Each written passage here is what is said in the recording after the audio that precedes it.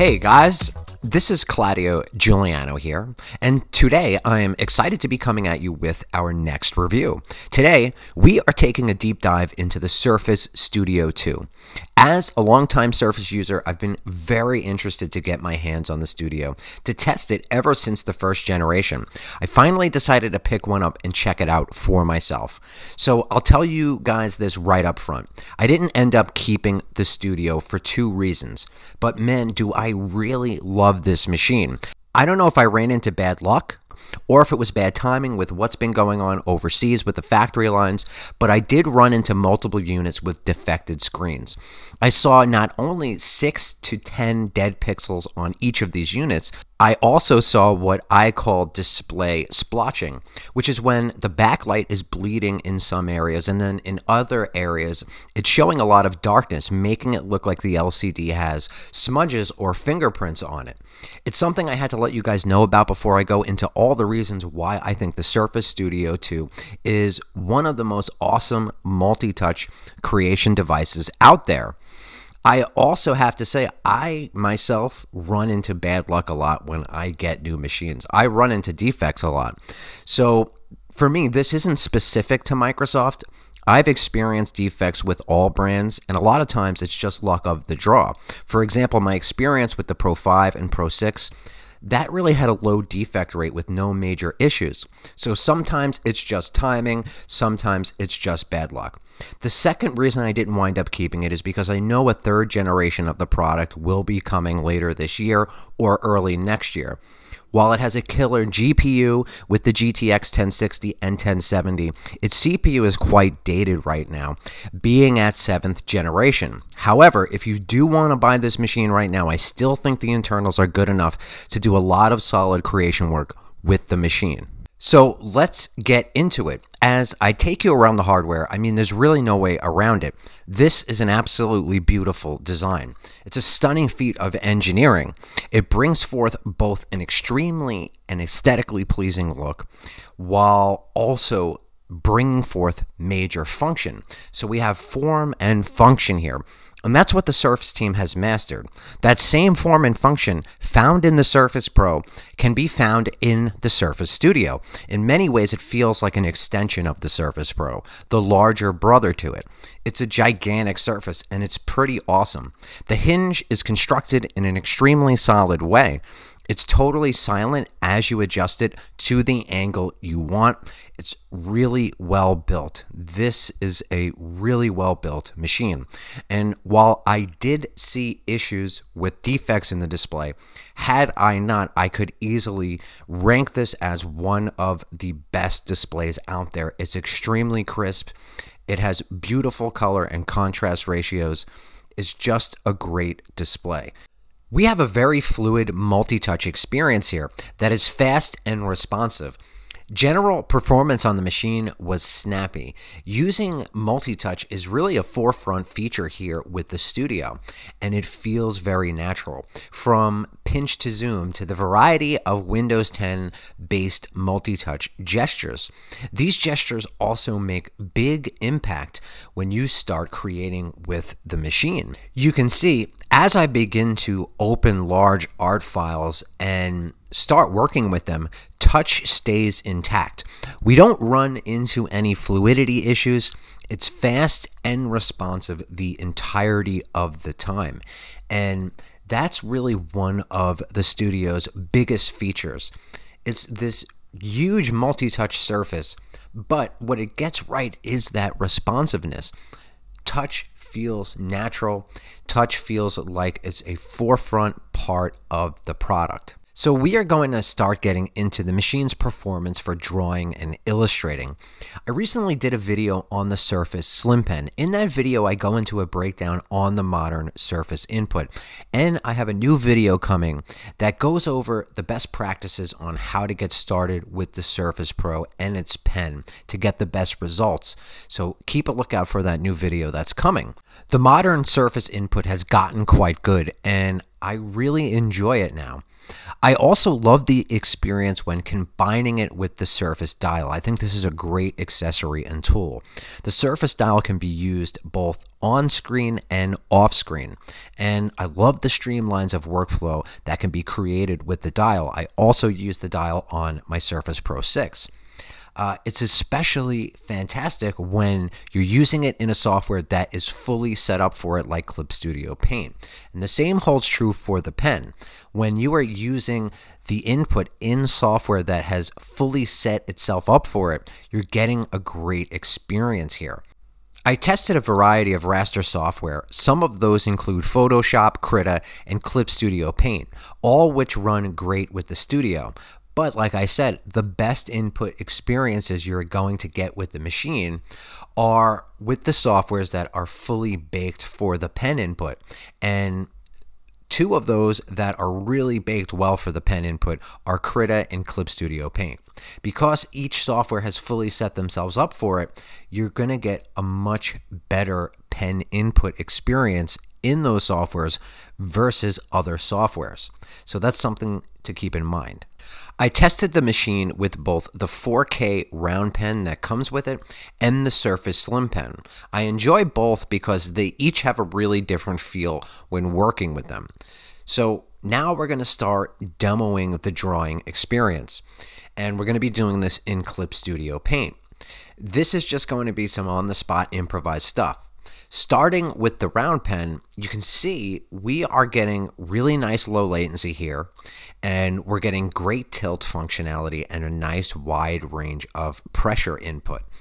Uh, the Surface Pen has really come a long way now, and it's really good when you're using it in these softwares that are set up for it. I also tested it with a variety of the pen tips that come with the pen tip kit, which allows you to get a bunch of different feels with that single round pen. So that's another awesome thing. I liked switching it up and using each one in that pen tip kit. Um, so as you can see here, as we just render a quick ball out here, um, everything's coming through really nicely here with the input with the pen. Using one of my pencil index pencils that are coming for Clip Studio Paint. Showing you guys the brush indexes is a great way to show you how much better the surface input has gotten. My brush indexes are multi-tool designed. For example, I have versions for the iPad Pro and the Apple Pencil, and then I have another version designed specifically for the Surface Pro and the Surface Input, and the end results are exactly the same now with each.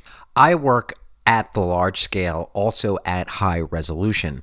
And I put the machine to the test for that, working on images like 20 by 20 at 300 DPI, things like that, 18 by 24. And I tested this for painting and inking and a variety of different forms of working and the machine performed well for that in a variety of different softwares, like I was saying earlier. Uh, machine performs really good in Photoshop. I didn't see any lag when I put it to the test. So great in Clip Studio Paint, works great in Photoshop, works great in Krita. Um, and I also tested the machine with the Surface Slim Pen. And it's another thing that I really enjoy using the slim pen with the studio because that brings forth a totally different feel than the round pen because it has a new tip design and a different tip architecture. So with the slim pen, it has a different feel in hand and it meshes well with the studio. Um, what I do find is the round pen has a bit of a wider tilt angle. You do have to hold the slim pen in a specific way to reach the full range of tilt, but tilt still does work very good with the slim pen. I also want to note that the way that the studio is designed, it's designed in a way to where you can push it back and put it in that all-in-one stage, and then you can pull it forward and it will float off the table like I'm showing you here. Another thing that I found really enjoyable to implement with the studio is the Surface Dial. The Surface Dial is actually one of my favorite tools, and I use it a lot on my Surface Pro 6. Uh, the combination of the dial with the studio just feels natural. It feels right. if you look here, you'll see that the dial is actually sliding down the screen. You do have to keep the back of the dial clean, like with an alcohol swab or something like that, uh, and then it'll stay in place. It didn't fall to the ground in my uses with it, and it also depends on the angle, but as long as you haven't cleaned, it pretty much sticks in one place and stays in one spot. Now, the reason I love the dial is because it adds to these streamlines of workflow, especially when you're using it in a software fully set up for it, which Clip Studio Paint is and that unlocks access to a bunch of different functions. As you can see, I'm able to rotate the canvas here. I'm able to quickly resize my brush with the dial. You can use the dial to zoom in and out. You can do an undo action with it. These are all the things that Clip designed specifically for the dial. And then you can go into your system wheel settings and then you can set your own custom commands. So I find that the dial has a lot of functionality. It adds a lot to streamline of workflow. So the dial is a lot of fun to work with, but it also brings forth a lot of functionality.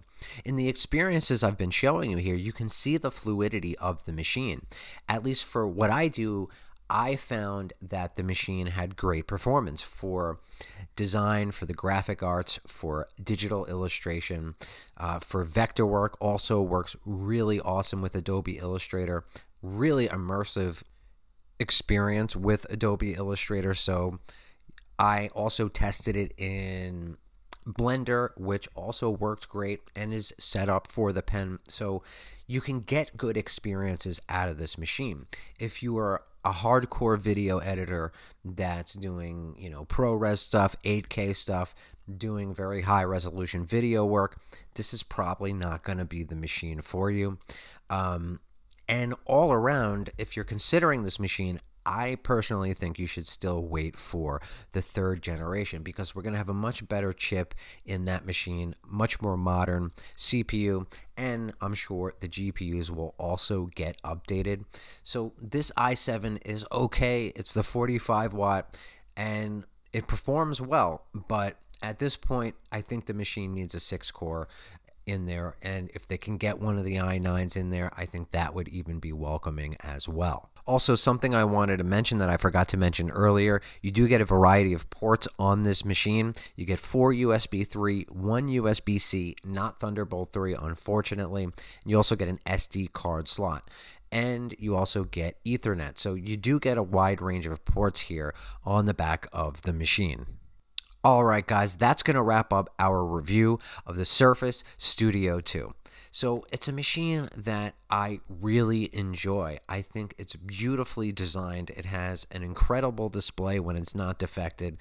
It is just an engineering feat here, and I think they did great work on it. Can I recommend it? Absolutely. I can recommend the Surface Studio.